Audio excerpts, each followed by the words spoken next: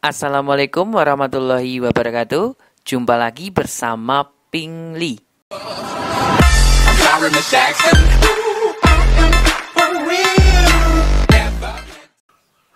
Di video kali ini kakak mau membahas tentang materi mutlak. Ya, mutlak itu materi kelas 10 semester 1. Langsung saja yuk penjelasannya ya. Persamaan mutlak. Persamaan mutlak. Mutlak itu disimbolkan dengan bagaimana toh? Oke, persamaan mutlak seperti ini. Mutlak X sama dengan A. Ini saya misalkan A gini ya. Dengan menggunakan definisi satu yang sudah ada di buku paket kalian, definisi satu bagaimana? Kita cari batasnya. Kita ambil yang positif jika jika apa? Jika x-nya lebih dari sama dengan 0. Jadi mutlak itu kan ini eh, x-nya ini kan ada dua toh. Ada yang positif, ada yang negatif. Kan gini. Kita mengambilnya gitu. Kalau Positif ya tetap hasilnya positif. Kalau negatif hasilnya nanti positif. Itu. Jadi mutlak itu selalu positif. Ingat ya. Kita ambil yang negatif X sekarang. Jika apa? Jika X-nya kurang dari 0. Nah, bisa diterima ya di sini ya. Nah, sekarang kita eh, ambil yang positif dulu. X sama dengan A. Ini untuk yang X sama dengan A, X yang positif ya. Kita sama dengan kan yang ada di ruas kanan. Jadinya X sama dengan A. Atau yang kedua sekarang kita ambil yang negatif. Negatif X sama dengan A. Nah di sini kan ada negatif X sama dengan A. Kalau hanya negatif X ini kan tidak masalah. Tapi kalau nanti berupa persamaan pasti membingungkan. Nah kita ubah jadinya X sama dengan negatif A. Lalu kita tarik kesimpulan. Nah, kesimpulan agar nanti penghitungan kalian itu mudah, langsung ketemu, cepat gitu ya. Definisi satu saya ubah jadi mutlak X sama dengan A, maka dia punya penyelesaian X sama dengan A atau dengan negatif A. Langsung ketemu nanti. Bisa dipahami ya sampai sini ya. Nah, sekarang kita contoh Eh, kita langsung ke contoh saja. Contoh yang mudah dulu yang pertama. Mutlak X dikurangi 2 sama dengan 3 misal. Penyelesaian yang pertama. penyelesaian yang pertama. Kita ambil yang positif. Berarti kan X min 2 dengan 3. Maka X sama dengan pindah ruaskan. Ya negatif 2 pindah ruas ke kanan jadinya 5. Oke. Ini Penyelesaian yang pertama sudah ketemu. Sekarang penyelesaian yang kedua.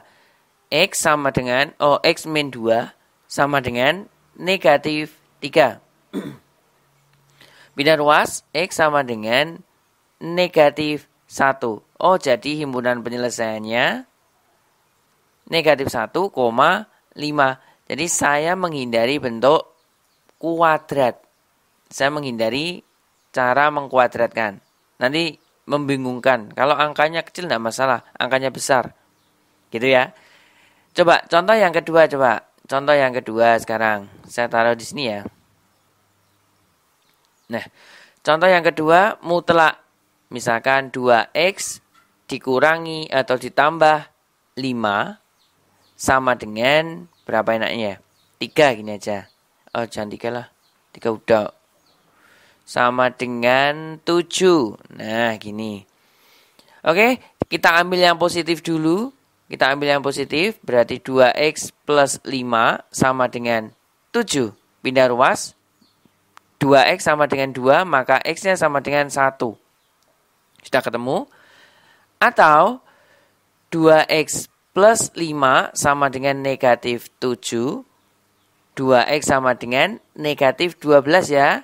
5-nya kan pindah ke kanan. Jadinya kan negatif. Maka X-nya sama dengan negatif 6. HP-nya, himpunan penyelesaiannya, negatif 6,1. Nah, jadi cuma hitungan detik saja nanti. Gitu ya. Tetapi di sini kalau ada soal seperti ini, yang soal ketiga ya, contoh ketiga, Misalkan saya punya mutlak X plus 7 sama dengan negatif 6. Apakah ini benar? Bisa dikerjakan ini? Apakah nilai mutlak itu ada yang negatif? Ini? Tidak ya. Nilai mutlak di sini selalu positif. Mutlak itu kan harus toh. Jadi e, nilainya itu nanti selalu positif. Kalau yang ada di ruas kanan negatif, berarti di sini tidak bisa dikerjakan, tidak memenuhi. Paham ya? Tidak usah dikerjakan. Bisa diterima? Oke, saya berikan contoh yang lain coba. Jadi ingat-ingat, jika di ruas kanan itu negatif berarti tidak bisa dikerjakan. Jangan dikerjakan ya. Biasanya ada yang kesusahan seperti ini. Mutlak X ditambah 1 ini dikurangi 5 sama dengan 2. Nah, mengerjakan seperti ini masih kebingungan. Caranya bagaimana? Kita arahkan seperti e, definisi. Harus mutlak X sama dengan A. Jadi yang ada di ruas kiri harus mutlak saja. Yang ada di ruas kanan adalah konstantanya. Gitu ya. Pindah ruas kanan aja. Negatif 5 kita pindahkan ruas dulu ke kanan. Jadinya mutlak X plus 1 sama dengan 7. Penyelesaiannya bagaimana? Ya kita gunakan definisi. X plus 1 sama dengan 7, maka X-nya sama dengan 6, atau X plus 1 sama dengan negatif 7, maka X-nya sama dengan negatif 8. Jadi HP-nya negatif 8,6. Paham ya? Oke, contoh berikutnya, contoh yang uh, sedikit hot, sedikit rumit.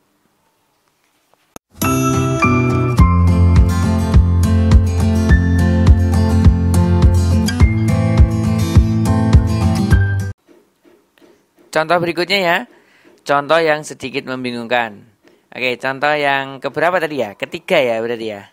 Coba keempat, maaf, keempat nih ya. Mutlak misalkan berapa enaknya ya? Hmm, X min 3 yang mudah-mudah aja lah sama dengan 2X. Nah, seperti ini. Di ruas kirinya bentuk mutlak, ruas kanannya tidak bentuk mutlak. Nah, ini bagaimana pengerjaannya? Pengerjaannya konsepnya e, menggunakan definisi ya. Kita kuadratkan ruas kiri sama ruas kanan. Kita kuadratkan kan jadinya A, anggap aja A kuadrat sama dengan B kuadrat. Saya buat pemisalan seperti ini. A kuadrat sama dengan B kuadrat, kita pindahkan ke kiri. A kuadrat dikurangi B kuadrat sama dengan 0. Nah, ini tuh bentuk apa toh? A kuadrat min B kuadrat ini bentuk apa? Ya, bentuk selisih 2 kuadrat. Penyelesaiannya bagaimana? A plus B dikalikan dengan A min B. Nah, sama dengan 0. Selesai penyelesaiannya cuma seperti ini. Begitu pula dengan mutlak ini, sama. Ya, kita kuadratkan. Uh, yang ada di kiri sama di kanan. Lalu kita pindahkan. Dan kita buat yang satunya plus, yang satunya min. Tetapi dari soal langsung saja ke ke sini, tidak masalah. Gitu ya. Jadi x min 3 ditambah 2x gini dikalikan dengan x min 3 dikurangi 2x sama dengan 0. Paham ya? Kita hitung sekarang x ditambah 2x 3x dikurangi 3 dikalikan dengan negatif X dikurangi 3. Maaf ya di sini berisik banget. Soalnya banyak anak kecil di sini. 3X dikurangi 3. 3X sama dengan 3, maka X-nya sama dengan 1. Atau negatif X sama dengan 3, maka X-nya sama dengan negatif 3. Inilah penyelesaiannya. Tetapi, kan kita punya X sama dengan negatif 3 kita substitusikan ke ruas kanan. Ini kita substitusikan ke ruas kanan ini. Nah, apakah hasilnya positif? kan harus positif. Jadi mutlak X min 3 sama dengan, ini kita ganti dengan negatif 3. 2 kali negatif 3 kan negatif 6. Nah, di ruas kanan ini kan negatif. Apakah boleh? Kan tidak boleh. Berarti di sini tidak memenuhi. Jadi kita harus mengujikan titik tersebut pada ruas kanan yang tidak ada mutlaknya. Kalau kita substitusikan ke yang ada mutlaknya jelas positif nanti hasilnya. Gitu ya bisa diterima ya. Jadi HP-nya, nah HP-nya hanya satu. X sama dengan satu saja.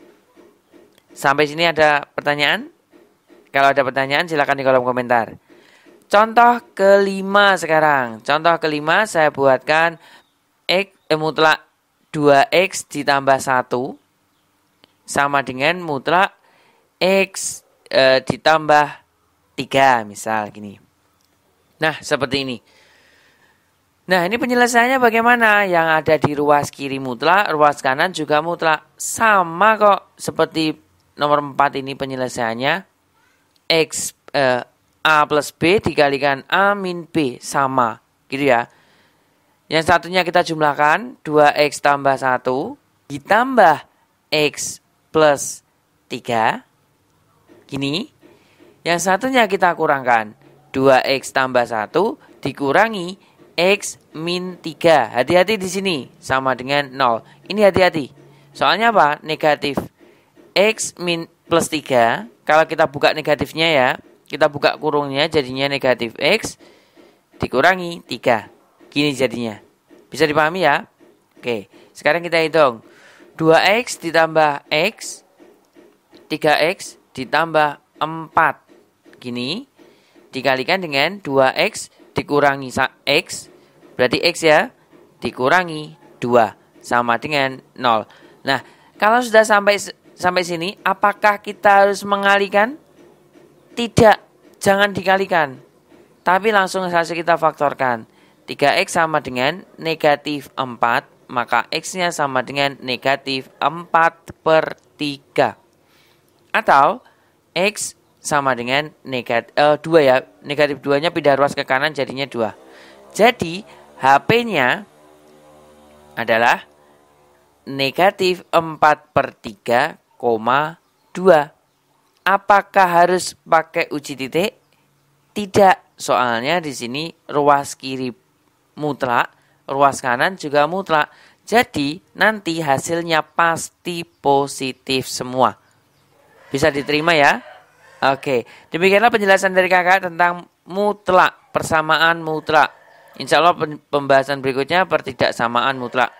Oke, uh, jangan lupa subscribe channel Pingli dan follow Instagram Pingli. Uh, share juga ke teman-teman kalian ya. Tetap belajar di rumah, tetap semangat, pantengin terus channel Pingli. Ketemu lagi di video berikutnya. Terima kasih.